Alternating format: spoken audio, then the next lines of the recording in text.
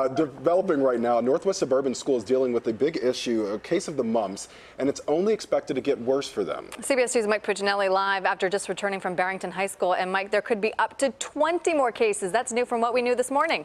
That is indeed, and that is very right, Aaron. Here are the very latest numbers from the Lake County Health Department. At Barrington High School, there are two confirmed cases, one probable case, and 11 suspected. And at the two middle schools, there are seven suspected cases.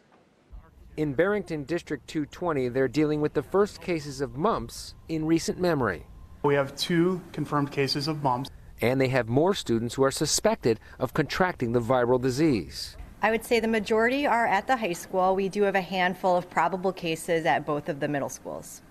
Suspected mumps cases have been identified in the district's middle schools, Prairie and Station. The two confirmed cases are at Barrington High School, where a student and an adult are infected it's become something of a buzz in the hallways. The only thing I've heard is that when you're not vaccinated, you aren't allowed to come back here for 25 days. Ellie Michaels says she's not scared of a potential outbreak, but couldn't help thinking about it when she became ill recently. I just got over a cold, and when I did get the cold, I'm like, oh my gosh, and then I'm like, oh no. Yeah.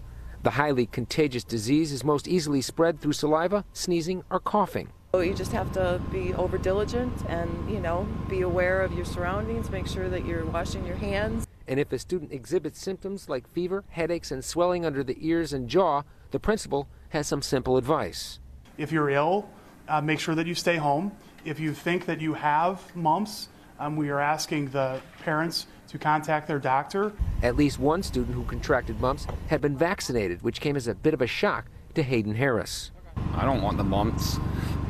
That's why he and other students walked into the building today vowing to wash their hands and do their part to try and prevent this mumps cluster from becoming a full-blown outbreak. Now, in order for the cluster to be reclassified as an outbreak, there needs to be at least three confirmed cases. That seems likely to happen pretty soon.